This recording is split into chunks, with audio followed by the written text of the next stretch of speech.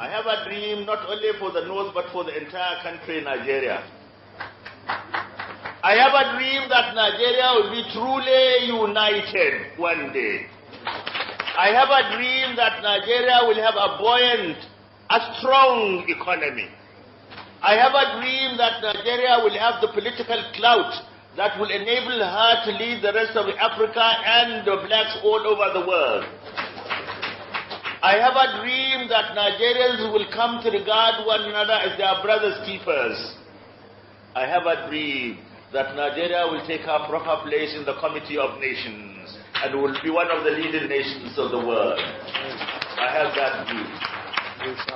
Insha'Allah. And all these ugly things that are happening today will come to an end. God willing. Only God has no beginning, no end.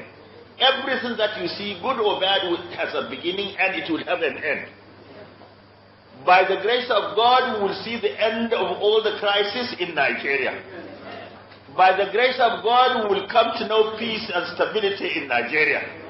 By the grace of God, we will be our brothers' keepers.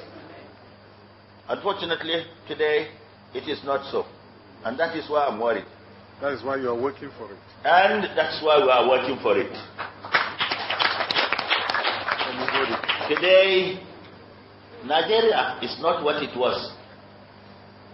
Nigeria was a decent country, morally sound. Yes, but today, the, even the institution of family is breaking down today. We'll do it for you. Respect for elders like me, We'll do it for you, Baba.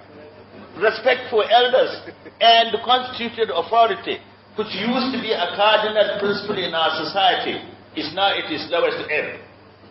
Honesty, why it does not pay, has become meaningless. Symptoms of revolt loom large in the horizon.